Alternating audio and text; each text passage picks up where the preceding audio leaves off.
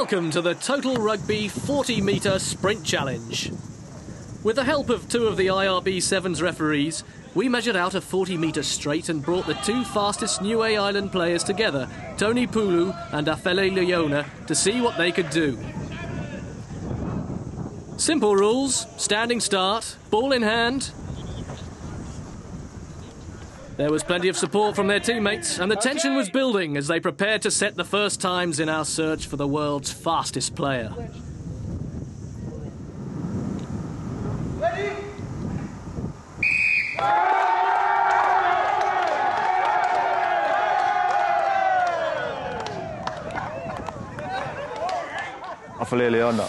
Niue. Time 5.11 seconds. Tony Pulu, Niue. Time 5.05 seconds. Oh, got it, mate.